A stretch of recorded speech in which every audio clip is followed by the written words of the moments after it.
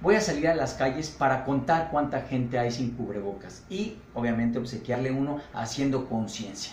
También les daremos su gel y su jabón para que se lave las manos. Creo que está en todos poder avanzar y disminuir el COVID. Afortunadamente el gobierno federal con la visión que tiene nuestro presidente de la República, Andrés Manuel López Obrador, este, como tú bien sabes, ya hay un, tema de, la vacuna que él ya mencionó que pues ya se está trabajando eh, de manera seria con un, buen este un buen laboratorio eh, de aquí de la Ciudad de México con la Universidad de Oxford.